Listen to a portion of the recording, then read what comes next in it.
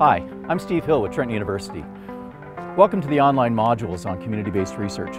We're going to be exploring what it means to do research with communities as a student and try to give you all the skills that you need to get started doing this.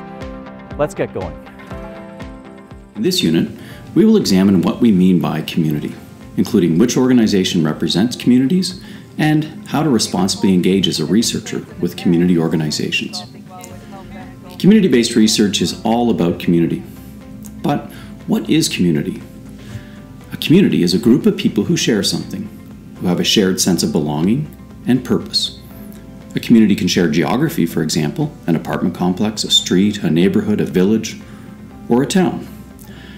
A community might share certain demographic characteristics, for example, youth, seniors, language, sex, or race, or a combination of characteristics.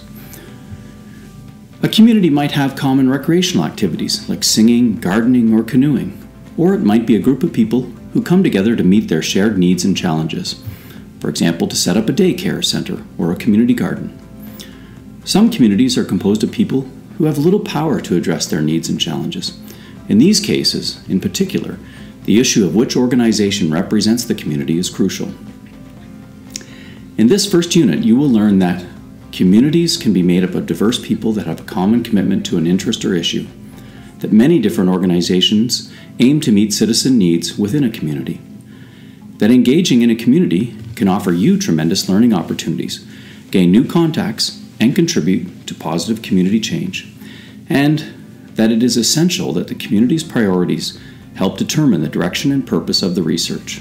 Community engagement can be described as a process by which citizens are engaged to work and learn together on behalf of their communities to create and realize bold visions for the future.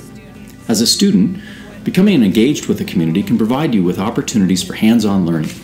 You can develop new knowledge and skills and make connections, increase your awareness of community issues and strengths, and contribute to making a positive change within your community. But community engagement isn't just about benefits for you, it's also a responsibility.